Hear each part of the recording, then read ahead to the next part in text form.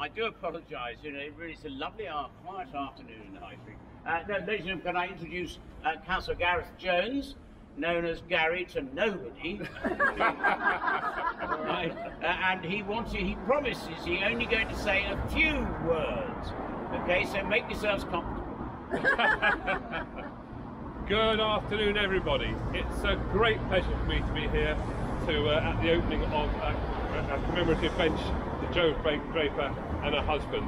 I personally never met Jo. I mean, I've lived in the town since the since the 80s, uh, but I didn't move in the same uh, same circles, same learned circles that uh, that Jo moved in. So, but I, I, everything I've heard, uh, you know, raises her in my esteem. So, I'm delighted to do this here, uh, be here today. Um, in fact, I I owe I do owe Jo a great debt because almost everything I know about the history of Dorchester comes from Jo's publications, and particularly a marvellous book called Dorchester Past, which probably many of you have got. So absolutely delighted to be here.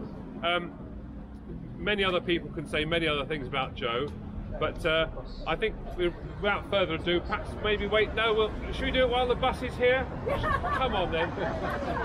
so perhaps uh, Jo's sister would like to. Um, Thank you. so, I say, yes.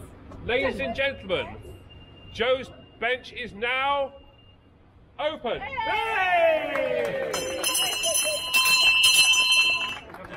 Now, I have taken the liberty, if I can find it, of writing a very, very silly cry. Oh, look at that. Would you believe? As, bef Out, out of his ear. as befits my office. Um, no, it is wonderful. And actually, I, well, no, just get on with it. Don't mess about. Okay, and it goes like this.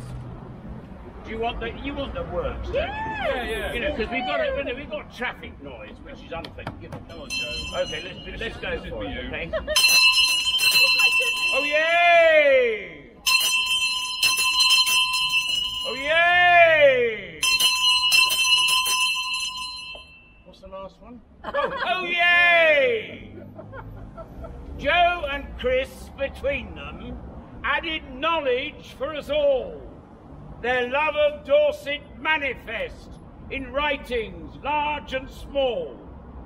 Our debt to them both is immense as their research turned mystery to sense. The men's shed, this is Graham, who's in charge of the men's shed, who built it. The men's shed built this magnificent seat, fittingly inscribed to make it complete. You got that, didn't you? You guessed that one. Yeah. Already appreciated by both young and old. A fine place to rest. And then, behold, the bus you've been waiting for has arrived. Your journey's secure. Public transport's survived. God save the Queen.